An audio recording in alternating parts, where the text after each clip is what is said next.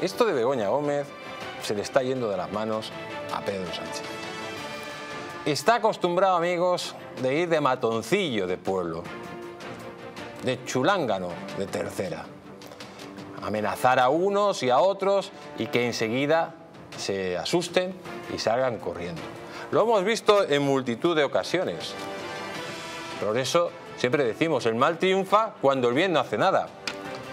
Pero en este caso, el bien sí está haciendo y la sociedad civil se ha levantado y ha dicho basta de corrupción y ha habido un juez que de momento está cumpliendo con la ley. Está cumpliendo con la ley. Y por eso hay que aplaudirle, porque le están atacando día sí día también, mientras que el Consejo General del Poder Judicial está callado. Y es que el carácter de Begoña Gómez es un carácter sectario, es un carácter eh, que a veces le sobrepasa a Pedro Sánchez. Y, ese carácter sectario y ese carácter pues em, a veces turbio ha hecho dejar muchísimas miguitas de pan, ha dejado muchos rastros en su actuación como eh, directora de Smaster a Complutense y en sus relaciones con empresas como Barrabés, como Europa y entre otras. Y esto le pone en una situación límite a Sánchez. Un Sánchez que es clave en todo esto. ¿Y por qué decimos que es clave? Por una sencilla razón, amigos. Porque Pedro Sánchez es presidente del gobierno. Y sin Pedro Sánchez no hay delito. No hay delito de tráfico de influencias. Y es que la declaración de Sánchez puede ser brutal. Ha intentado utilizar que declare por medio por escrito, porque ¿saben lo que decía Pedro Sánchez? yo soy el presidente del gobierno. Fíjese, su soberbia, su soberbia le ha hecho meter la pata, un error garrafal. Y dice en la carta que él, dice, es inescindible. O sea, que no se puede separar su cargo de presidente del gobierno de ser esposo de Begoña Gómez. ¿Qué es lo que quiere decir?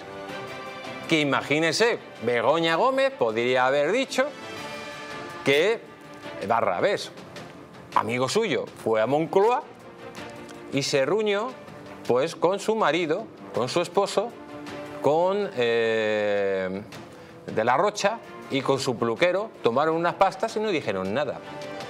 Porque se había reunido con su esposo en su casa. Pero ahora ya no. A decir que eh, el señor Sánchez, que es inescindible de su cargo de presidente de gobierno, Pedro Sánchez se reúne con Barrabés, y eso lo confiesa el propio Sánchez en la carta, como presidente del gobierno. Y es que en esa, carta confiesa tácitamente que podría haber cometido un delito de tráfico de influencias a no poder separar su posición de presidente y de esposo. Claro es presidente, es como ustedes, amigos, cuando están trabajando. O sea, cuando van a comer con los amigos, ¿es el albañil? ¿Es el tendero? No, es el amigo o el, marido de no el presidente de gobierno. Pero Sánchez ha confesado en un error carrafal sin precedentes, amigos. Dice, por lo tanto, en todas las reuniones que recibió Barrabés y a Goyache, lo recibió como presidente de gobierno. Y su relación también con su mujer, según Pedro Sánchez, porque es incapaz de separar una con otra, es como presidente de gobierno. ¿Qué es lo que dice el delito de tráfico de influencias?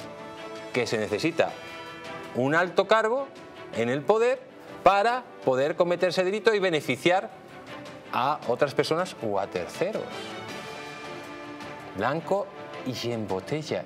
Y Sánchez lo acaba de decir, por escrito, nada más y nada menos. ¿Por qué? ¿Porque le están aconsejando bien? No, están aconsejándole, no jurídicamente, le están aconsejando políticamente. Y lo que tiene que saber Begoña Gómez y Sánchez que no es cuestión de hacer política con el juez, como quieren ellos, de impregnarle, decir que se hace lawfare, que esto es un juicio político, etc. No, no, hay que seguir las reglas de la ley de juiciamiento criminal. Y lo que no puede hacer, y es de un error carrafal, el reconocer tácitamente, haber confesado tácitamente que cometió un posible delito.